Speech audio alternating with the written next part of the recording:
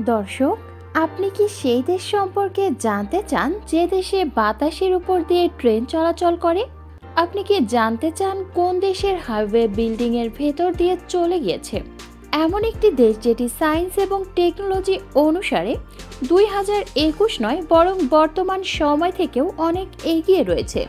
সেই দেশ যেটি দ্বিতীয় বিশ্বযুদ্ধের পর থেকে আজ পর্যন্ত দুইবার ধ্বংস হওয়ার পরও নিজের পায়ে দাঁড়িয়ে আছে।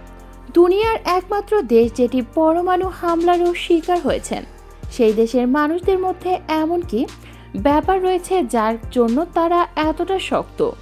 এই সকল প্রশ্নের উত্তর জানতে হলে ভিডিওটি শেষ পর্যন্ত দেখতে থাকুন। আজ আমরা জাপান সম্পর্কিত কিছু ইন্টারেস্টিং তথ্য জানতে চলেছি। সাবস্ক্রাইব করুন রহস্য টিভিকে আর যে কোনো আপডেট পেতে বেল বাটনে ক্লিক করে অলে ক্লিক করুন। জাপান এশিয়া মহাদেশের পূর্বে প্রশান্ত মহাসাগরে অবস্থিত। প্রায় ছয় হাজার আটশো বাহান্নটি দ্বীপ মিলে জাপান গঠিত।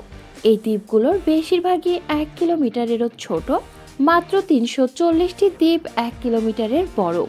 জাপানের অন্তর্ভুক্ত দেশগুলোর মধ্যে চারটি দ্বীপ এমনভাবে রয়েছে যে আমরা যদি বলি এই চারটি দ্বীপ মিলেই জাপান গঠিত, তাহলেও ভুল হবে না। কারণ এই চারটি দিক জাপানের মোট আয়তনের সাতানব্বই শতাংশ জায়গা জুড়েই রয়েছে। জাপানের বেশিরভাগ স্থলভাগই পাহাড়ে ঘেরা। এখানে দুইশোটিরও বেশি আগ্নেয়গিরি রয়েছে। জাপান খুবই ভূমিকম্প প্রবণ একটি দেশ। যদি জাপানের উপকূলীয় সমুদ্র অঞ্চলে ভূমিকম্প হয়, তাহলে সুনামি আসার সম্ভাবনাই বেশি। দুই হাজার এগারো সালে ঘটে যাওয়া ভূমিকম্পের সুনামিতে জাপানে প্রচুর ক্ষয়ক্ষতি হয়। জাপানে প্রতি বছর পনেরো বারেরও বেশি ভূমিকম্প হয়ে থাকে। জাপানের চৌম্বকীয় শক্তি দ্বারা চালিত ট্রেন রয়েছে। এই ট্রেনগুলো লাইন থেকে কয়েক ইঞ্চি উঁচু দিয়ে চলাচল করে। চৌম্বকীয় শক্তির কারণেই এমনটা হয়ে থাকে, কিন্তু দেখলে মনে হয় ট্রেনগুলো যেন বাতাসের ওপর দিয়ে চলাচল করছে। এটি জাপানি প্রযুক্তির সবচেয়ে বড় উদাহরণ। জাপানিরা খুবই সময়ানুবর্তী হয়ে থাকে। এখানে কোনো ট্রেনই তিরিশ সেকেন্ডের বেশি দেরি করে না। জাপানের মানুষরা পরিষ্কার পরিচ্ছন্নতার প্রতি খেয়াল রাখে। এখানে ক্লাসরুমগুলোতে শিক্ষকরাও ছাত্রছাত্রীদের সঙ্গে পরিষ্কার পরিচ্ছন্নতায় অংশগ্রহণ করেন। তারা বাহিরে থেকে আসার পর জুতা স্যান্ডেল ঘরের বাইরে রাখে। তবে ঘরের বাথরুমগুলোতে অবশ্যই স্যান্ডেল রাখা থাকে। এখানকার বাথরুমগুলো বেসিনের সাথে সংযুক্ত থাকে কারণ আপনি যে পানি বেসিনে ব্যবহার করবেন, সেই পানিগুলো বাথরুমে মানব নোংরা পরিষ্কার করার ক্ষেত্রে কাজে লাগবে। এভাবেই তারা পানির অপচয় রোধ করে। আমরা তো করোনা ভাইরাসের জন্য মাস্ক পরা শুরু করেছি, কিন্তু জাপানিরা সবসময় মাস্ক পরে চলাচল করে, কারণ তারা চায় না যে তারা যে অসুখে আক্রান্ত, অন্যরা যেন সেই রোগ জীবাণুতে আক্রান্ত না হয়। জাপানের সাক্ষরতার হার একশো শতাংশ। এখানকার সবাই কম বেশি পড়াশোনা জানে। আর একটি মজাদার তথ্য হলো, জাপানের ক্রাইম রেট পৃথিবীর অন্যান্য দেশের তুলনায় অনেক কম। জাপানে যাদের ঘর বাড়ি নেই, তারা সেখানকার ম্যাকডোনাল্ড রেস্টুরেন্টে রাত্রি যাপন করতে পারে।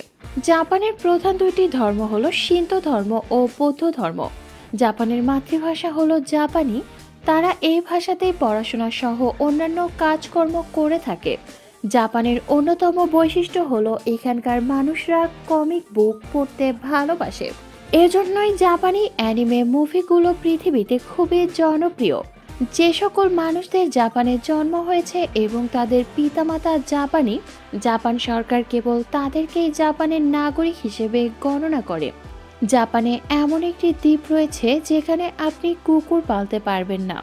কারণ ওই দ্বীপে মাত্র একশো জন মানুষের সাথে চারশোটি বিড়াল বসবাস করে। এই জন্য এই দ্বীপকে ক্যাট আইল্যান্ড বলা হয়। চলুন দর্শক, এখন জাপানের খাবারগুলো নিয়ে আলোচনা করা যাক। এটা তো আপনারা সবাই জানেন যে জাপানিরা চপস্টিক দিয়ে খাওয়া পছন্দ করে। জাপানিরা মাছ খেতে এতই পছন্দ করে যে এদেশের চারপাশে সমুদ্র হওয়া সত্ত্বেও এদেশ থেকে মাত্র সাতাশ শতাংশ মাছ রপ্তানি করা হয়। জাপানের সবচেয়ে জনপ্রিয় খাবার হলো সুশি, যেটি মাছ এবং ভাত মিশিয়ে বানানো হয়। পানীয়র মধ্যে জাপানিরা কফি সবচেয়ে বেশি পছন্দ করে। এদেশ জামাইকার পঁচাশি শতাংশ কফি আমদানি করে নেয়।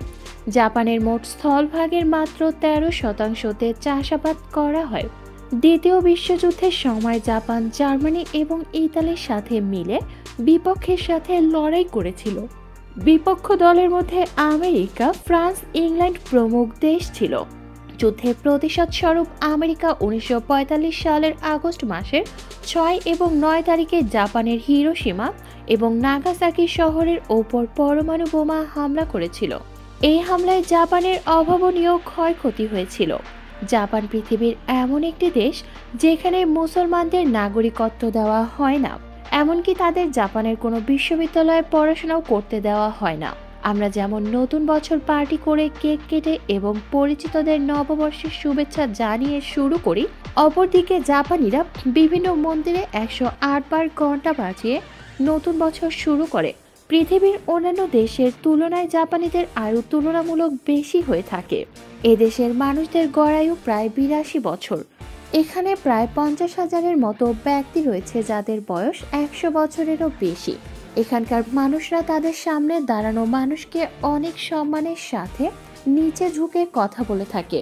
জাপান প্রযুক্তির খাতে পৃথিবীতে সবচেয়ে এগিয়ে এখানে প্রতিদিনই নতুন নতুন প্রযুক্তিগত উদ্ভাবন হয়েই চলেছে।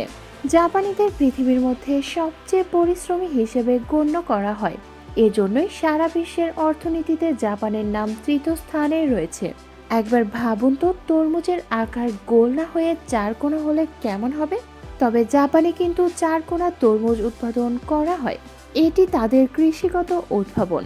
জাপানের রাজধানী টোকিওতে সবচেয়ে বড় মাছের বাজার বসে। বড়দিন উৎসবে জাপানিরা কেএফসিতে গিয়ে খাওয়া পছন্দ করে। তারা ঘোড়ার কাঁচা মাংস খেতে খুব ভালোবাসে। আপনি শুনে অবাক হবেন যে প্রযুক্তিগতভাবে এত উন্নত হওয়ার পরও জাপানিরা চার সংখ্যাকে অশুভ মনে করে, এমনকি দালান কোঠাগুলো চতুর্থ তলা থাকে না। জাপানের মানুষরা কালো বিড়ালকে শুভ মনে করে, তাই তারা কালো বিড়াল পুষে থাকে।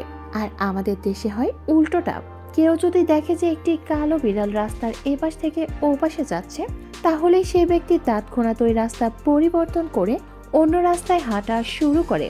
জাপানের মানুষরা বিড়াল, কুকুর, কাঠবিড়ালি এবং গরু প্রভৃতি প্রাণী পোষা পছন্দ করে। তবে জাপানিরা অনেক অতিথি পরায়ণ হয়ে থাকে।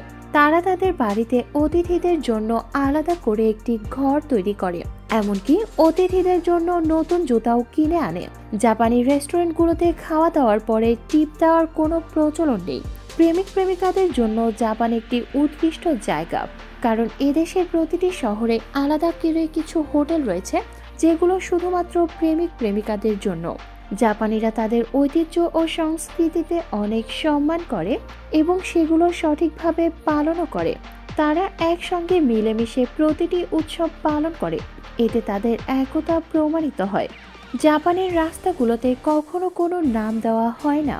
তারা তাদের দেশকে নিপ্পন বলেও ডেকে থাকে, যার অর্থ হলো সূর্যোদয়ের দেশ। দুই হাজার এগারো সালের এই ভূমিকম্পের পর জাপান মুখ থুবড়ে পড়েছিল, কিন্তু মাত্র দশ বছরে এ দেশের উন্নতি চোখে পড়ার মতো। বিজ্ঞানীরা গবেষণায় এমনটা পেয়েছেন যে, সেই ভূমিকম্পের কারণে পৃথিবীর গতিবিধি দ্রুত হয়ে গিয়েছে। এজন্য তিন এক দশমিক আট মাইক্রোসেকেন্ড কমে গেছে। জাপানের শিশুদের দশ বছর বয়স পর্যন্ত পড়াশোনার কোনো চিন্তাই থাকে না। কারণ তাদেরকে দশ বছর বয়স না হওয়া পর্যন্ত কোনো পরীক্ষা দিতে হয় না। আর আমাদের দেশে নার্সারি ক্লাস থেকে বাচ্চাদের ওপর বইয়ের বোঝা চাপিয়ে দেওয়া হয়। জাপানের জাতীয় খেলার নাম সুমো রেসলিং। এর ইতিহাস এক হাজার পাঁচশো সাল পুরনো। এই খেলায় অংশগ্রহণকারীদের ওজন তিনশো পাউন্ড বা এর অধিক হয়ে থাকে। জাপানের সবচেয়ে জনপ্রিয় খেলাগুলোর মধ্যে বেসবলও রয়েছে।